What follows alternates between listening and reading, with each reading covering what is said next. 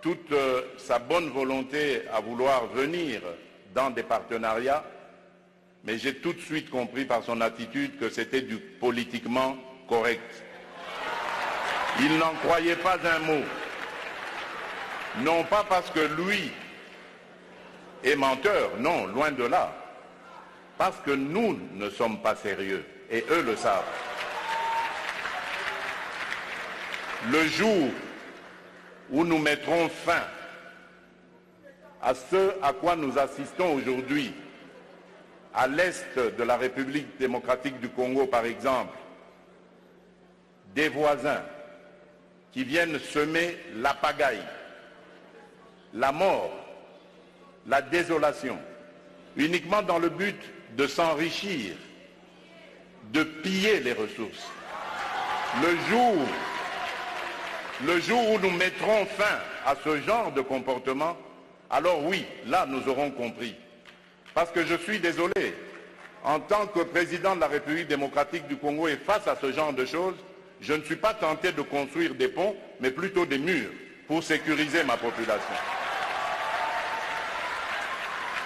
Welcome back to another video. Don't forget to subscribe and also turn on the bell icon to receive notifications every time we upload new videos.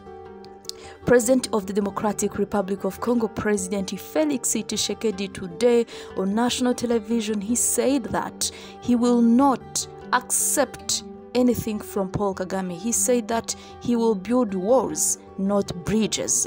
President Felix Tshisekedi, who is uh, currently the president of the Democratic Republic of Congo and also a presidential candidate in December mm, presidential elections. President Felix Tshisekedi has showed his anger. He is very angry with what is happening in the Eastern Democratic Republic of Congo. Fighting has continued between the rebels M23 and different militias known as Wazalendo FDLR, Mai Mai Nyatula, mercenaries from Wagner, and different rebels who decided to join hands with the FARDC soldiers to fight against the M23.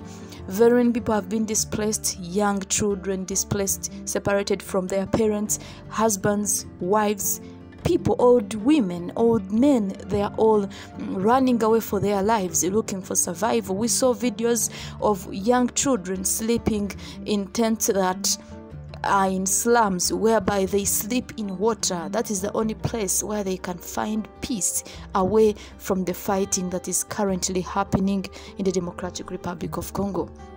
President Felix Tshisekedi has expressed his concern about the Eastern Democratic Republic of Congo and he has said that he will never accept to understand Paul Kagame. He will never accept peace talks with Paul Kagame or negotiate with the M23 rebels.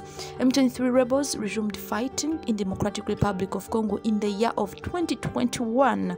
After years of silence, they resumed fighting in 2021 and the only thing they they want they want from President Paul, uh, President Felix Tshisekedi is negotiations. They have what they want and they want to negotiate with the president Felix Tshisekedi something he refused and he said that he will never not even one day accept to negotiate with the rebels. He asked them to surrender their guns and accept to face law and but the rebels refused. They said they will continue fighting for their people, for the Tutsi people in the Democratic Republic of Congo.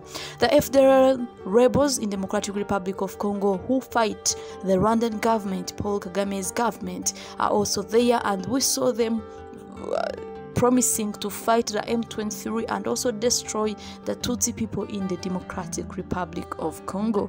Very many people being displaced has created concern in the whole world whereby very many people who are displaced in the democratic republic of congo a large number of congolese run to uganda wazalendo group is using heavy weapons weapons that could harm the nature in the Democratic Republic of Congo, weapons that may destroy the environment, weapons that may cause harm to soil, may cause harm to people in the Democratic Republic of Congo. Stay tuned and don't forget to subscribe.